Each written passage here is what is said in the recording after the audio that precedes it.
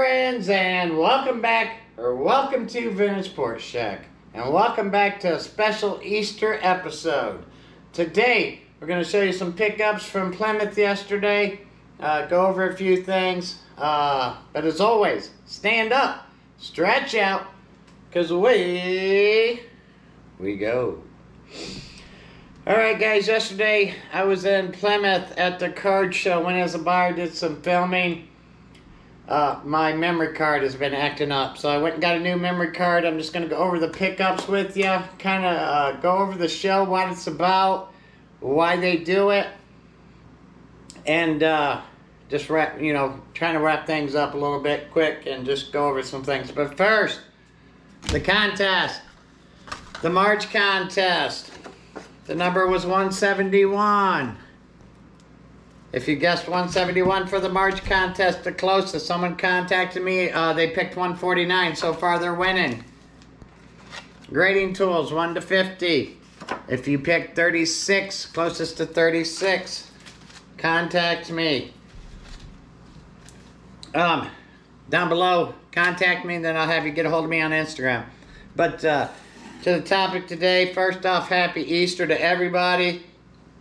If you're watching, enjoy your family. Have a great day. Um, but I wanted to talk about the Plymouth show. I met the gentleman down there. I came down there. I told him I was going to buy a table, but I decided to come as a buyer. And he said he was happy to have me down there, that uh, they had watched me, a couple other few people. Actually, I ran in probably 10 or 15 people. So thank you very much, guys, for saying hi.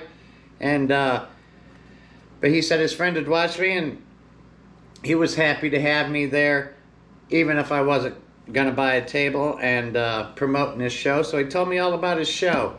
Down there in Plymouth, most of these shows, the proceeds goes to the promoter. We all know that. Down there in Plymouth, it goes to the Little League. They have changed the venues into the sports complex, and the sports complex makes the money off all the uh, concessions. They have a real nice concession stand there. Uh, you can eat, spend half the day there, enjoy yourself, and uh, all the proceeds, table fees, go to the Little League. So it was only a 40 table show, but it looks like they're trying to grow.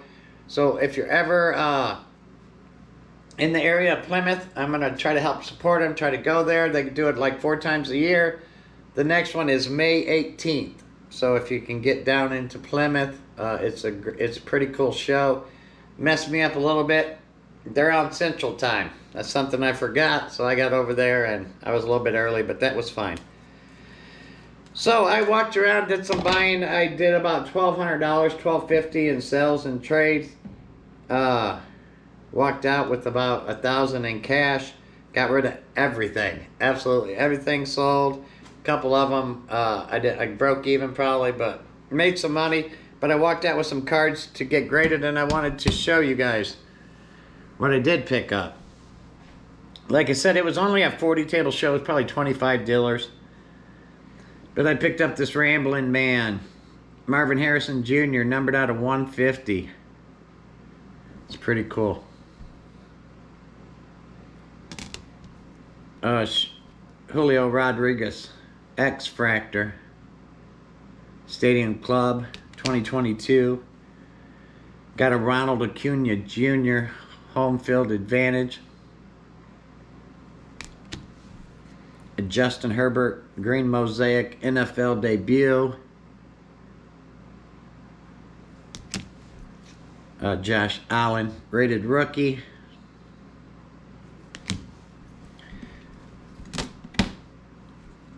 And Evan Carter, rookie, Topps, yellow, 2024.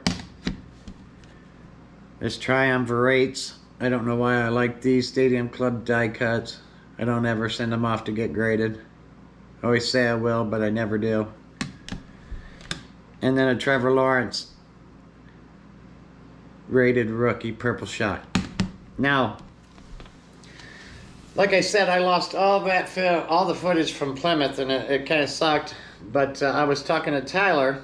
I got one more card here I picked up, and I was just telling him the story about why I picked up this card and uh, That's why I'm doing this video today. He was like, you got to tell that story. Now, to me, it's just something, you know, part of my job, something I do. It's not that big a deal to me, but, you know, I hopefully you guys enjoy it. Um, when I first started doing appraisals back in the early 2000s, uh, you had to get in line. So I had to do the grunge work. I had to do uh, foreclosures, uh, deed transfers, um, wills, things of that nature. So uh, I, you know, I had to build up. But I am a certified residential appraiser, which means if the house is over a million dollars, they have to send out someone like me. There's trainee, there's licensed, there's certified, and then there's certified general. Certified general does commercial. Paul don't want to do commercial, so Paul stopped at the certified. Uh, but uh, not a lot of million dollar houses rolling around here where I live. But when there are, they have to send uh, someone like me out. And there's not, not well, especially back in 2005, there wasn't a lot of us. 2007, and uh, I went and did an appraisal at a house, really nice in Bristol, Indiana. Uh, I think it was Bristol Estates or Bristol Frontier. I can't remember, but beautiful house. Walk around. We always do the outside inspection. I'm walking around.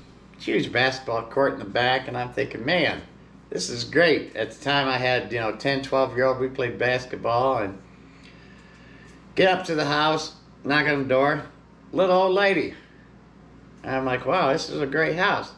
She's like, yeah, it was given to her. And I'm like, given to you? We're walking through the house and I'm doing inspection. We're talking. It's not right at the door.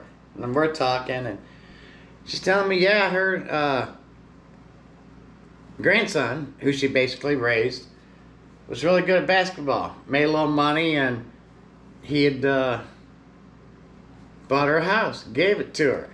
She had raised them, and it starts clicking in my mind where I was and the story was kind of clicking and I asked her, I said, uh, you mind telling me who your grandson is? And she said, yeah. His name's Shawn Kemp, as you would know him. I'm like, well, I do know Shawn Kemp. So, in Plymouth, picked up a Shawn Kemp auto from 22-23 Donruss numbered out of 99. That's why I picked it up. It's numbered. If it would have just been the autograph, maybe not. But uh, I'm gonna send that off to Grady. And I thought that was neat. And Tyler thought, Tyler, if everybody hates the story, it's your fault. He thought you guys would think that's cool. But uh, something that I picked up that kind of just hit me. You know, it's kind of neat knowing. Uh, I've never met Shawn Kemp, but I have met his grandma. Let's talked to her for like an hour and hung out at his house, and which is now her house, and so it was really neat to get that card. I guess is what I'm saying.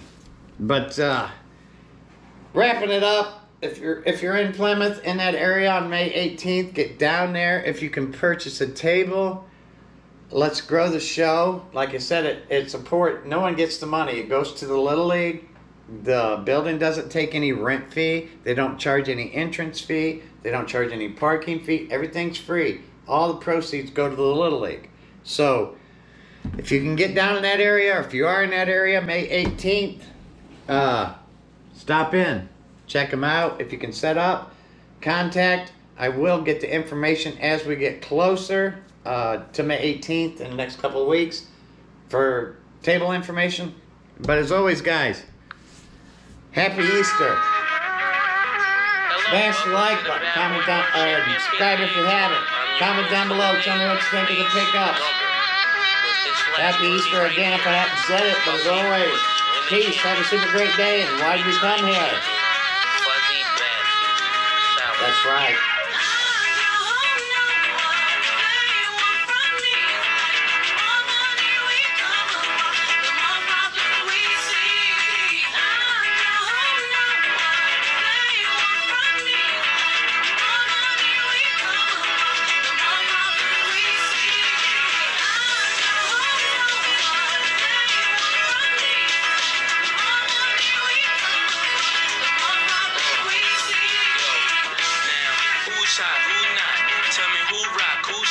Stores. You tell me who flop, who cop the blue drop, who Jews got rocks, who's mostly doshi down to the two top. The same old pimp, base, you know ain't nothing changed but my limp. Can't stop till I see my name on the blimp. Guarantee me sales, call it love or luck. Can't no PD niggas hold me down, cooler. School me to the.